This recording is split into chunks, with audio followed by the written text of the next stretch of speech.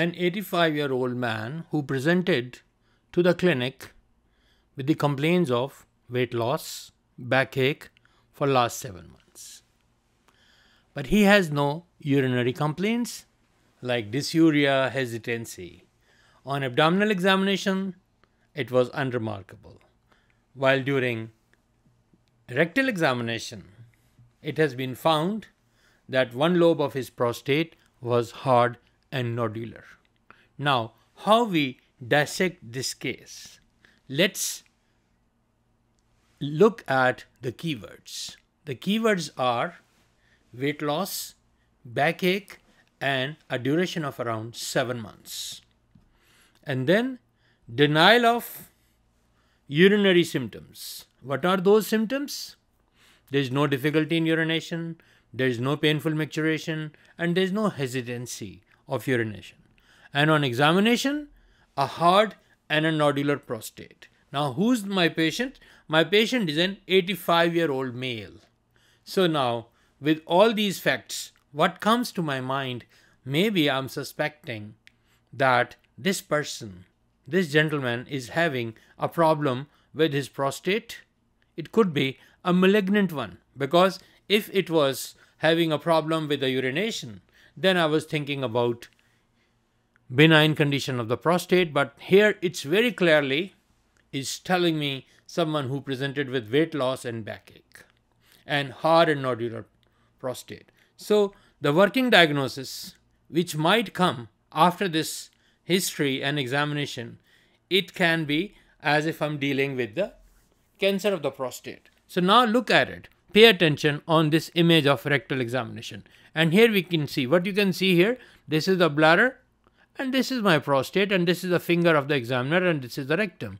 Look at this finger Where has been looking at it. Can you see this area which is enclosed in this circle? I'm doing it again for you.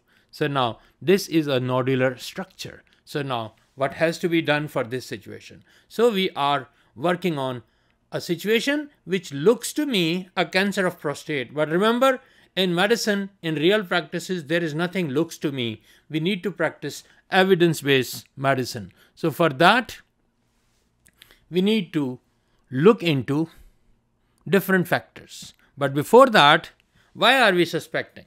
Because prostatic cancer is most common solid malignancy in men.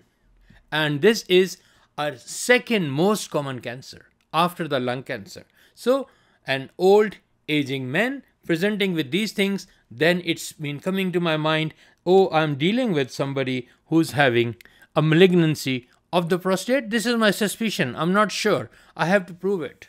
And it is a major health concern in developed countries. Why I wrote the word here, developed countries? Because in the developed countries, the quality of life is better than underdeveloped countries, mostly. People have long ages because of good quality of life. So, this is a disease of old people. That's one of the factor which goes in this favor. When we look up further, so there are risk factors. So, what are these risk factors? Number one is increasing age, I talked about. Then the ethnic origins. So there are some ethnic relations which are very concerned. And then the genetic predispositions. So these are the factors which are connected to the risk factors. Now, looking at it, the symptoms of metastatic disease. Because this person is presenting with a backache along with weight loss.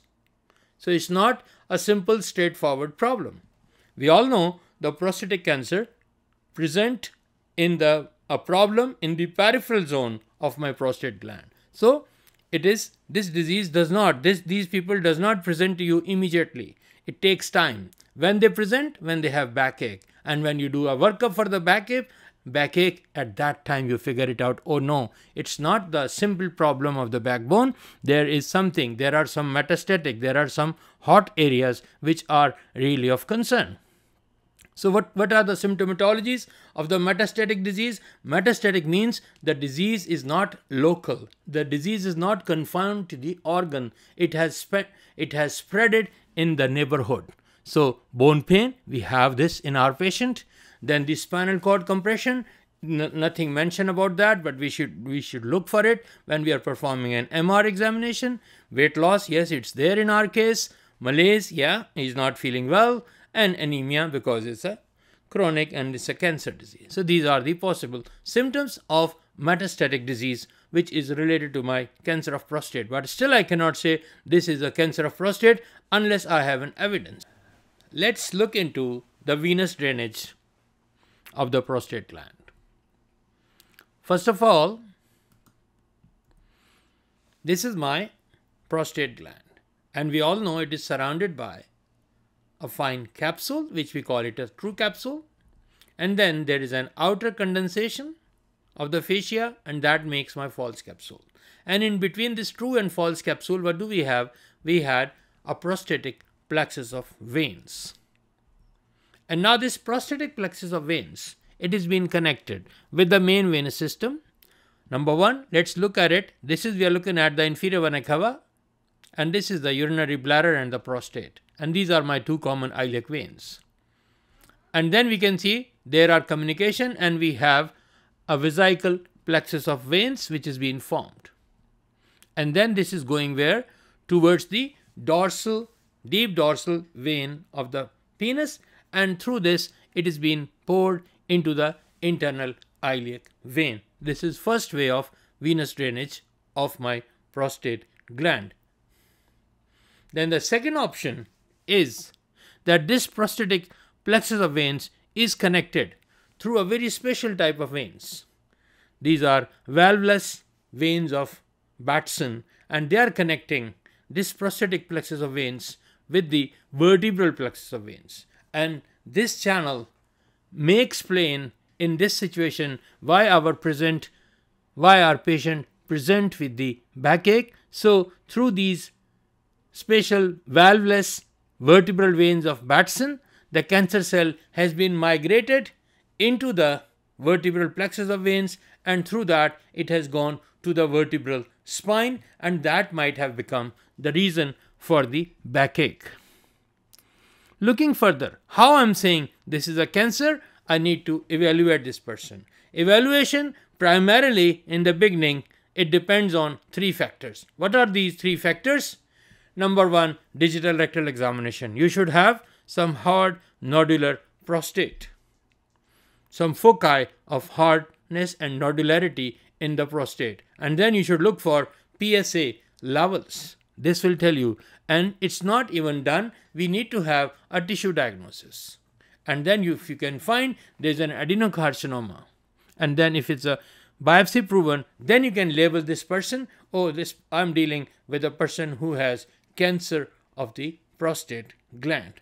And then we'll go for the staging, but I'll not be touching upon the staging. In this video, we'll be talking about it in the upcoming video where I'll be working on, I'm working on an advanced presentation for the cancer of the prostate. So now what we'll do with these patients? The treatment entirely depends upon the level of the PSA the grade of the cancer, the aggressiveness, and last but not the least, the stage, the extent. According to these factors, then we can plan. We have to figure it out. Is it a organ confined disease or it is a metastatic disease? So if it is an organ confined disease, the treatment plans are different. And if it is a metastatic disease, we have different treatment plans. Thank you for sparing your time.